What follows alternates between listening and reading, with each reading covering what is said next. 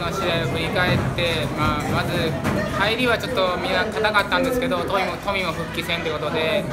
でも、まあ、きっちりゼロで折り返して後半も何回かピンチとかもあったんですけど和樹がいいとこで決めてくれて守備陣も頑張ってゼロで抑えて、まあ、みんなで勝ち取った最終節の勝利やと